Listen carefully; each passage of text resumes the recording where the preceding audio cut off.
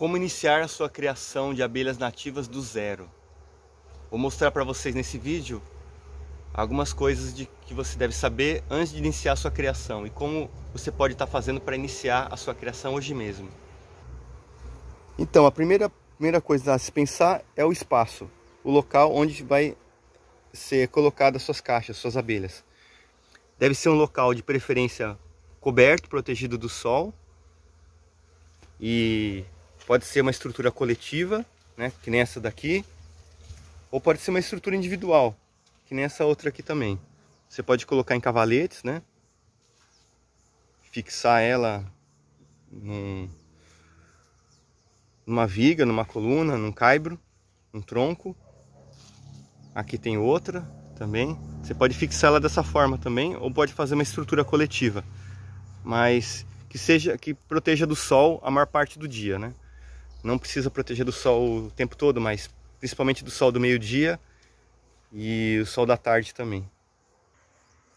Essa aqui é uma estrutura que eu fiz para comportar a produção de matrizes da nossa criação de abelhas.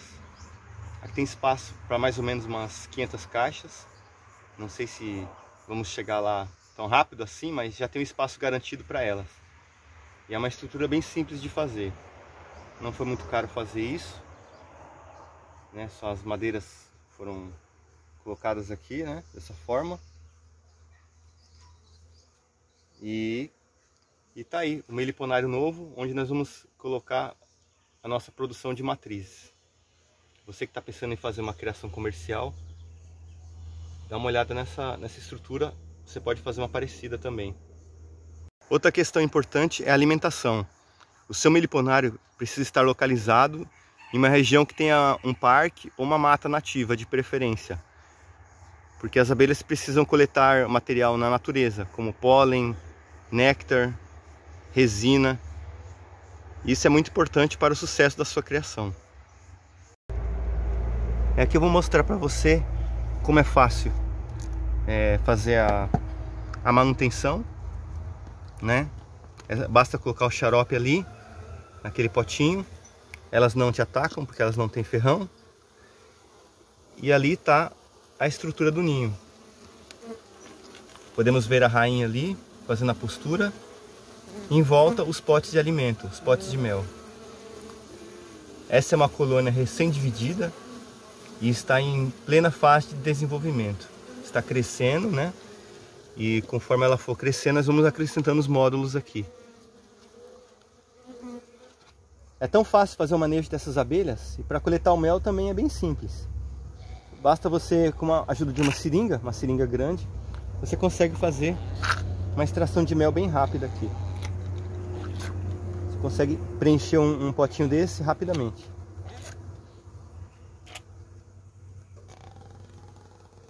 Se você quiser ter mel para o seu próprio consumo, tá aqui. Ou para vender também, se você tiver várias caixas, você pode vender esse mel também. É um mel muito valorizado.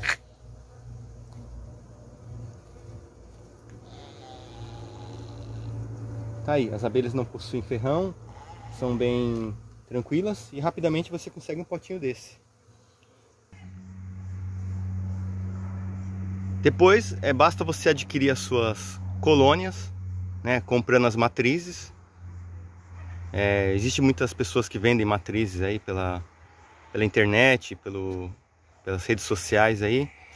Então você pode comprar suas matrizes, ou você pode capturar também através de iscas, que aí é um pouco mais complicado e de, depende um, um pouco também de sorte, você capturar algumas abelhas, nem todas as espécies são fáceis de capturar.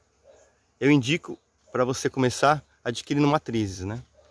E sempre que quando você adquirir uma matriz, não adquire apenas uma caixa, adquire pelo menos duas de criadores diferentes ou genéticas diferentes. Que assim você não corre o risco da, de nascer uma rainha e virar uma colônia zanganeira. Então ter pelo menos duas colônias né, de uma genética diferente. E a última coisa é você se inscrever no nosso canal e acompanhar as dicas de como iniciar, de como fazer o manejo das suas abelhas. Nós estamos colocando sempre dicas novas, né? para você que está iniciando conseguir fazer sua criação tranquilamente. Então se inscreva no nosso canal e acompanhe as dicas de como iniciar a sua criação e de como fazer o manejo nas suas caixas.